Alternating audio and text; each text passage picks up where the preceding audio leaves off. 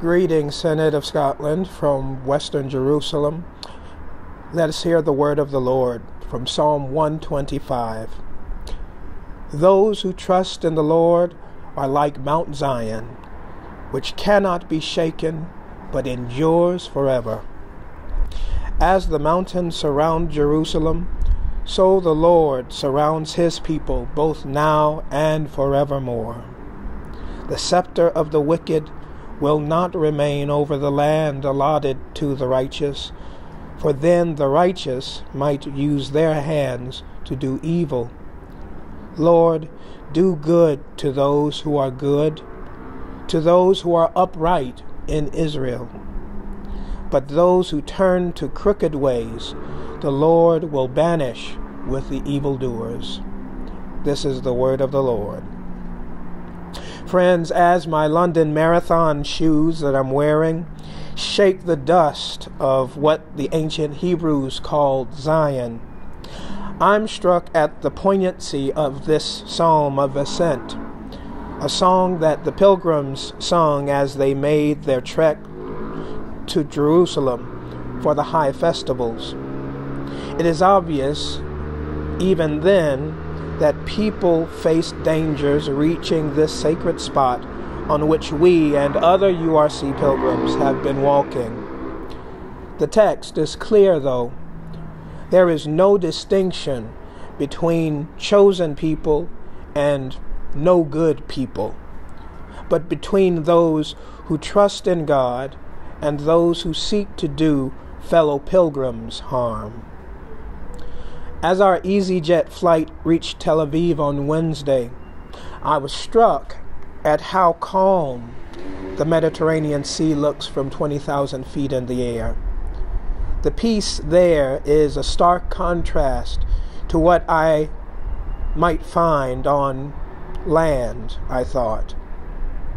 As we entered Jerusalem, the words of another psalm of ascent, Psalm 122, rushed through my mind.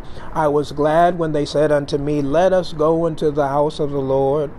As the tribes go up, the tribes of the Lord, unto the testimony of Israel to give thanks to the name of the Lord.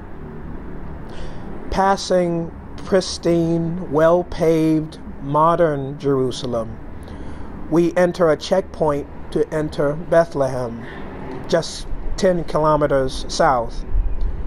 Silence filled the bus as we saw segregation personified. Maybe it was the tiredness from the long flight, but the difference between the two cities is obvious. Rubbish compacted, it seems, in every corner in Bethlehem unfinished buildings which tell the story of government restrictions and years of violence inflicted on the community. Chaotic driving, constant honks of the horns, and near accidents, the result of few streetlights or signs in Bethlehem. Certainly not as many streetlights as you see in Israeli territory. In the evening, the sound of the call to Islamic prayer reminds me that I'm not in Kansas anymore.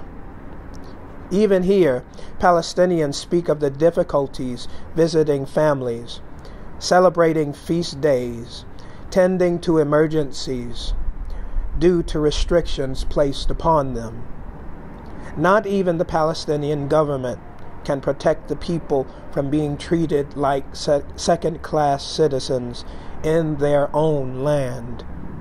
Yet, their own theological understanding of their land is not that they are a chosen people for this land, but that God is the owner of the land. The parallels between here and race relations in South Africa and the United States are very evident to all of us. As with my country and others, what is necessary is a revolution of what a fr- friend of ours, Nidal, a leader of the Olive Tree Project here in here in Israel, uh, here in Palestine, calls what he calls people moved by beautiful values. He said, For once we start speaking only politics and interests, there is no hope. Now we're in Jerusalem, earlier today on the Mount of Olives, as we heard a cacophony of human sounds of Lawrence Moore teaching over pilgrims from other nations singing and speaking the Lord's Prayer. From the distance, the call to Muslim afternoon prayer. From the north, south, east, and west, it seemed.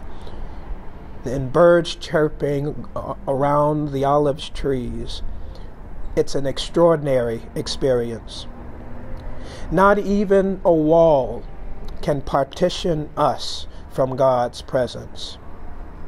As the psalmist wrote, As the mountains surround Jerusalem, so the Lord surrounds his people, both now and forevermore.